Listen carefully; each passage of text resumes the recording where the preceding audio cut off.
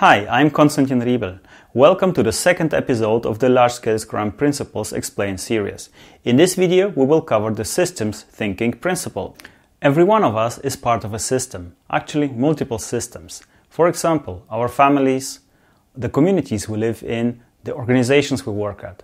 Since LESS is about organizational design for large scale adaptive development, we will focus on organizations as a system. In small organizations, the forces at play are seen quicker and they are informally understood, meaning the cause effect relations about how the organization works are more visible and easier to grasp. But in large product development or any large system, it's much more difficult to see those cause effect relations and much more difficult to understand the entire system. Gerald Weinberg highlighted two decisive factors in this context. More software projects have gone awry from managements taking action based on incorrect system models than for all other causes combined. And the causation fallacy. Every cause has an effect, and you can tell which is which. Problems stemming from mental models and assumptions are one issue. Another issue is that for a company to truly become adaptive, it involves more than just doing agile processes in the development group. Becoming adaptive involves product management, budgeting, HR policies, purchasing, sales, after sales, customer service, and so on. It involves the entire organization. The MIT Sloan School professor Jay Forrester conducted a research where decision makers were giving dynamic models of a business system and they were asked to improve the output performance of this business system. The results showed that they actually made it run worse. The observation was that most people have weak judgment on how to fundamentally improve systems. People usually applied or typically applied common sense solutions and quick fix solutions that do not create long lasting improvement. The question is why is the behavior of large systems, such as a development group, not understood? Most systems of interest, like organizations that develop products, have positive and negative feedback loops as well as nonlinear behavior. And it's exactly this nonlinear behavior that defies our gut instinct. Then there's also the issue of people. It's like Magnus Westin once said all organizations are rational, until you put people in. In summary, we can boil it down to a few reasons for not being skillful in interpreting or guiding big systems. 1.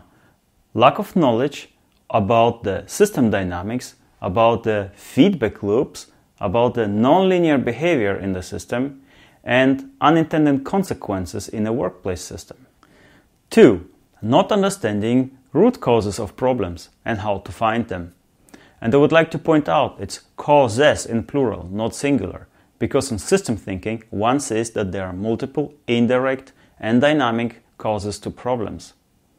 And three, not knowing if or why quick fix solutions or local department decisions degraded overall delivery performance. Most people have the education and the skill to master the complexity of static details.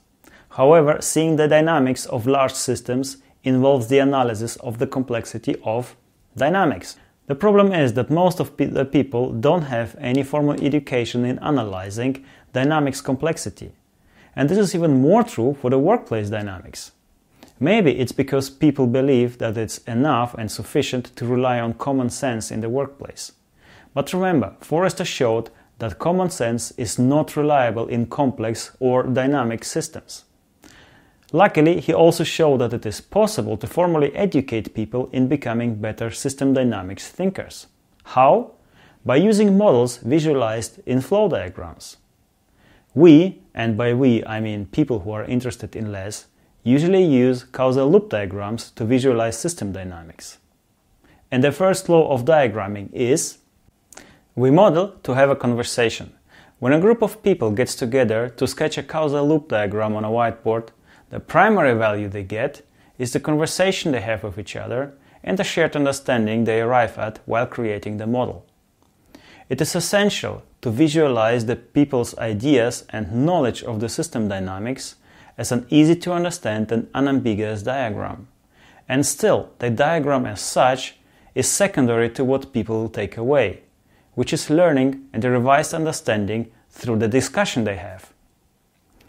You can find an in-depth introduction to system thinking with causal loop modeling on That Works under Principles and then System Thinking.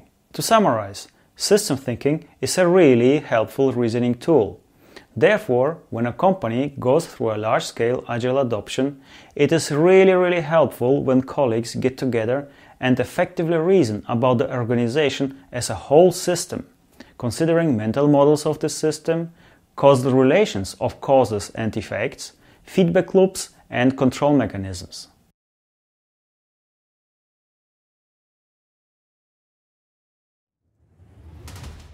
Thank you for watching.